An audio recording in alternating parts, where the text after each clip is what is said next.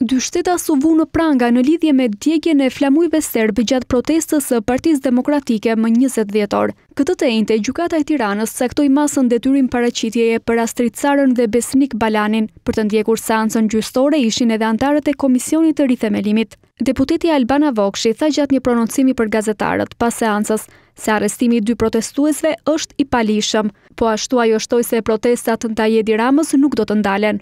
Neve e përshëndesim qëndrimin e gjykatës, por arrestimi është i paligjshëm, nuk janë vënë në dispozicion prova që fajësojnë të dy qytetarët. me anë të gjestit të tyre kanë shprehur protestën ndaj mini-Schengenit, protestën ndaj të gjitha planeve famkeqe anti-shqiptare të Edi Ramës. Duam t'i bëjmë me dije Edi Ramës dhe gjithkush që ndodhet pas tij që harton këto plane anti-shqiptare, protestat që kanë filluar nuk do të ndalen.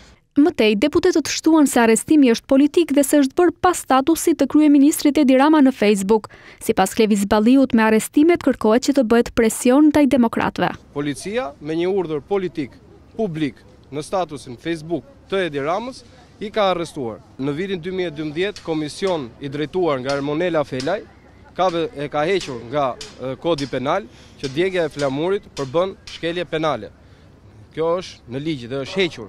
Është pjesë e lirisë të shprehjes të çdo individi. Nuk është nuk është nuk është krim.